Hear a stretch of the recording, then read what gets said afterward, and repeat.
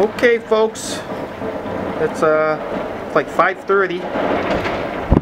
Um, I think they're plowing my lot right now. Yeah, you can see the the trucks out there. It's actually still kind of light. Well, but the wind is like whipping in right towards my face right now. My my balcony slider faces directly nor northeast, and this is where the snow's coming.